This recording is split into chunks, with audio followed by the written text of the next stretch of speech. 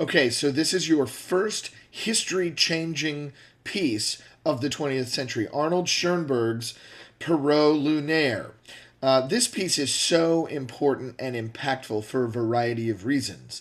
Um, but the thing that is most striking when you first hear it is you kind of ask yourself this question what the hell is this? Let's be honest. That's probably what you did. I'd love to have seen your faces when you heard it. It probably did something like this.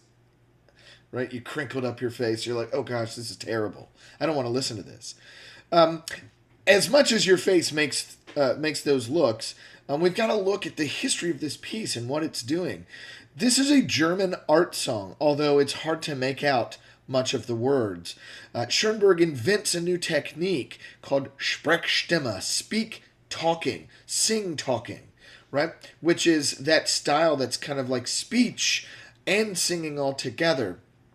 Uh, it's in German, so it's kind of like a German art song in the style of Schubert from the Romantic era.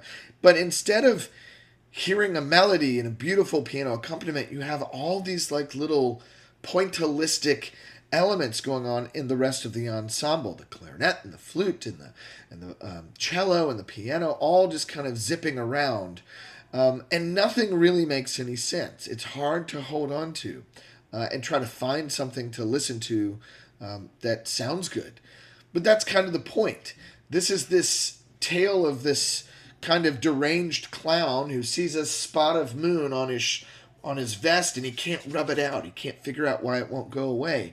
So it's supposed to sound silly and absurd and crazy and modern. Um, there's so much to this piece and this style of music. The fact that harmony is thrown completely out the window, uh, using the concepts of atonality, a lack of a center or centric p- uh, pitch or tone for you to kind of latch your ear onto. Um, I don't love listening to these pieces either, but I really love the reactions of people when they first hear them.